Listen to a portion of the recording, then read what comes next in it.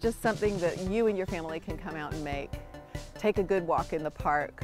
Um, this time of year, the color is spectacular. You've got lots of golds and the sycamores reflecting on the river and the canal.